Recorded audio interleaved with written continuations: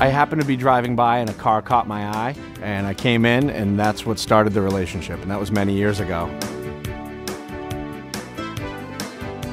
Beyond our expectations. That's the second R8 I've had. First one I bought somewhere else, but this one I bought from Bernardi, and there is a difference.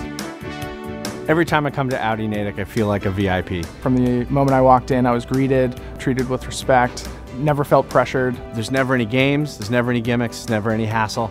The process was quick and simple. I usually pretty much drive in and drive out. It's really easy doing business with these guys. They know the details about the cars and go above and beyond to help you. They see it like we see it. Oh, I recommend this dealership to everybody. The service is out of sight. It always comes out right, and I'm always satisfied. They pick up my vehicle at my work and bring it back when it's finished by the end of the day. It's really all about convenience for me. Not only can you get dropped off, but when your car is ready, they pick you up. How easy is that? Audi Natick works for me. It's always ready before it's promised. There's coffee, Wi Fi, anything you could ask for. You won't be disappointed. I think they take pride in this uh, dealership is what I sense. Start a conversation, start the relationship with them.